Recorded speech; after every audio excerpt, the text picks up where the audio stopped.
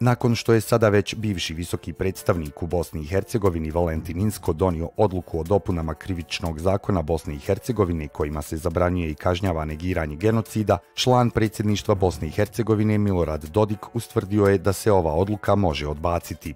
U izjavi za televiziju Tanjuk 25. jula ove godine Dodik je izjavio da Ustav Bosne i Hercegovine predviđa mogućnost odbacivanja odluka OHR-a. Članom 5 aneksa 10 općeg okvirnog sporazuma za mir u Bosni i Hercegovini, visoki predstavnik ovlašten je za konačnog interpretatora sporazuma o civilnoj implementaciji mirovnog ugovora. Osim toga, prema članu 2 aneksa 10 Dejtonskog sporazuma, visoki predstavnik olakšava rješenje bilo kojih poteškoća koje nastanu provedbom civilnog rješenja ako prosudi da je to potrebno.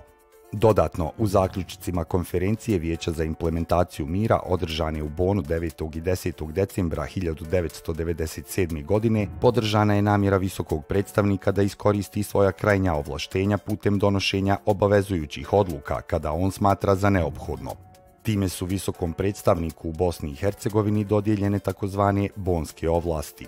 Još 2006. godine Ustavni sud Bosne i Hercegovine zaključio je da u postojećem pravnom sistemu Bosne i Hercegovine nema djelotvornog pravnog lijeka protiv odluka visokog predstavnika koje se tiču prava pojedinaca, a niti je Bosna i Hercegovina u okviru svoje pozitivne obaveze preduzela aktivnosti u cilju obezbjeđivanja djelotvornog pravnog lijeka protiv navedenih odluka visokog predstavnika.